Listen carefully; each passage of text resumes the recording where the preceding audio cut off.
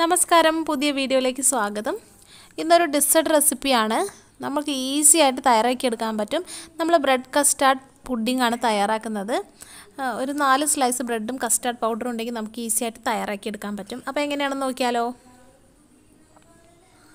അപ്പോൾ ഞാനിവിടെ രണ്ട് ബൗളുകൾ എടുത്തിട്ടുണ്ട്. അപ്പോൾ ഇത് രണ്ടെണ്ണത്തിലും ഓരോ ഇൻഗ്രീഡിയൻസ് ആഡ് ചെയ്ത് കൊടുക്കണം. ആദ്യത്തെ ബൗളിൽ നമുക്ക് കസ്റ്റാർഡ് പൗഡർ ചേർത്ത് കൊടുക്കാം. ഞാനിവിടെ രണ്ട് ടേബിൾ സ്പൂണാണ് കസ്റ്റാർഡ് പൗഡർ എടുക്കുന്നത്.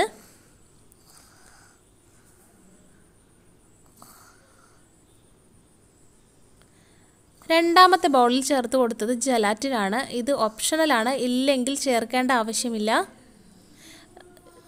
ചെറിയ ക്വാണ്ടിറ്റി മാത്രമേ ചേർത്തിട്ടുള്ളൂ. നമ്മുടെ പുഡിങ്ങിന് ഒരു ഗ്ലേസിങ് കിട്ടാൻ വേണ്ടി മാത്രമാണ്. ഇനി നമ്മൾ ജലറ്റിനിലേക്ക് ചൂടുവെള്ളം ചേർത്ത് കൊടുത്തിട്ടുണ്ട്. കസ്റ്റർഡ് പൗഡറിലേക്ക് പാൽ ചേർത്ത് കൊടുത്ത് തരികളൊന്നും ഇല്ലാതെ നന്നായിട്ട് മിക്സ് ചെയ്തെടുക്കുക. ജലറ്റിനും നന്നായി അലിയിച്ചെടുക്കണം. അപ്പോൾ ഇത് രണ്ടും തയ്യാറാക്കിയതിന് ശേഷം ഇത് ഒരു സൈഡിലേക്ക് മാറ്റി വയ്ക്കാം ഇനി ഒരു പാനിലേക്ക് ഒരു കപ്പ് പാൽ നമുക്ക് ചേർത്ത് കൊടുക്കാം. പാലിനോടൊപ്പം തന്നെ പഞ്ചസാരയും നമ്മൾ ചേർക്കുന്നുണ്ട്. ആവശ്യത്തിനുള്ള മധുരം നമുക്ക് ഇപ്പോൾ ചേർത്ത് കൊടുക്കാം. ഇനി ഈ പാൽ ചൂടാക്കാനായിട്ട് നമ്മൾ അടുപ്പിലേക്ക് വെച്ച് കൊടുക്കുക. നന്നായിട്ടൊന്ന് ഇളക്കി കൊടുക്കണം.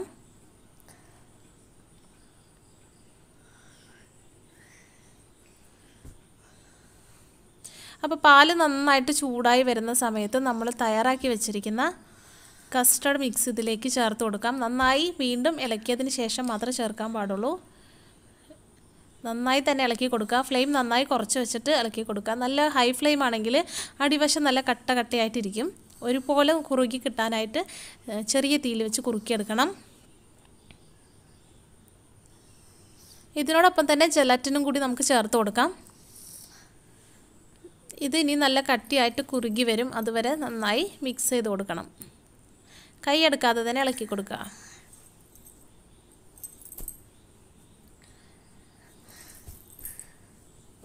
ഇപ്പോൾ ചെറുതായിട്ട് കുറുകി തുടങ്ങിയിട്ടുണ്ട്. ഇതിലേക്ക് നമ്മൾ വേറെ ഒന്നും ചേർക്കുന്നില്ല. നമ്മുടെ custard powder vanilla flavour add ചെയ്തതാണ്. അതുകൊണ്ട് വേറെ ഒന്നും ചേർക്കുന്നില്ല നിങ്ങൾക്ക് വേണമെങ്കിൽ നട്ട്സ് ചേർത്ത് കൊടുക്കാവുന്നതാണ്. അത് നമ്മൾ പുഡിങ് കഴിക്കുമ്പോൾ കടിക്കുമ്പോൾ നല്ല ടേസ്റ്റ് കിട്ടും.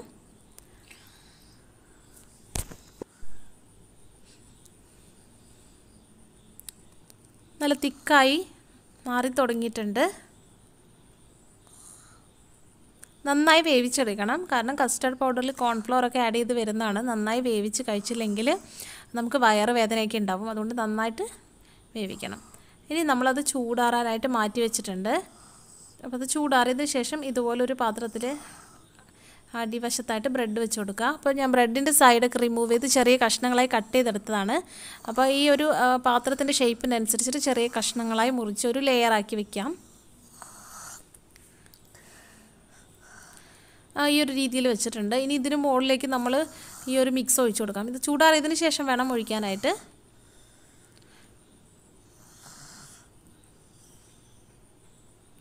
ഇനി നമുക്ക് ഇതിന്റെ മുകളിൽ സെക്കൻഡ് ലെയർ ബ്രെഡ് വെച്ച് കൊടുക്കാം. ഇതിൽ ബ്രെഡിന് പകരമായിട്ട് നമുക്ക് വണ്ടർ കേക്കുകളൊക്കെ വെച്ച് കൊടുക്കും ചോക്ലേറ്റിന്റെ കേക്കുകളൊക്കെ നമ്മൾ കാണാറുണ്ട് മാർബിൾ കേക്കൊക്കെ അതൊക്കെ വെച്ച് കൊടുക്കുകയാണെങ്കിലും നല്ല ടേസ്റ്റ് ആയിരിക്കും കേട്ടോ ബ്രെഡ് എന്ന് പറയുന്നത് നമ്മുടെ വീട്ടിൽ മിക്കപ്പോഴും ഉള്ളതല്ലേ? അപ്പോൾ അതായിരിക്കും ഏറ്റവും എളുപ്പം. ഇനി മുകളിൽ വീണ്ടും ഇതുപോലെ ഒഴിച്ചു കൊടുക്കാം.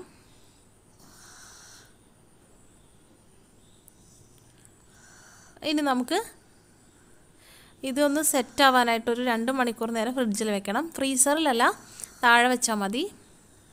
അപ്പോൾ അതേ രണ്ട് മണിക്കൂർ ഫ്രിഡ്ജിൽ വെച്ച് എടുത്തിട്ടുണ്ട്. ഇപ്പോൾ അതേ നമ്മുടെ പുഡിംഗ് ഇവിടെ കണ്ടില്ലേ നല്ല ഗ്ലേസിംഗ് ആയി വന്നിട്ടുണ്ട്. അതിന് വേണ്ടിയാണ് നമ്മൾ ജെലറ്റിൻ ചേർത്തത്.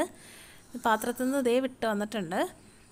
അപ്പോൾ ഇങ്ങനെ കഴിക്കാനാണ് ടേസ്റ്റ്. മുറിച്ച് കഴിക്കുന്നതിനേക്കാളും ഇതുപോലെ ഇങ്ങനെ ക്രീമി ആയിട്ട് കഴിക്കുന്നതാണ് ടേസ്റ്റ്.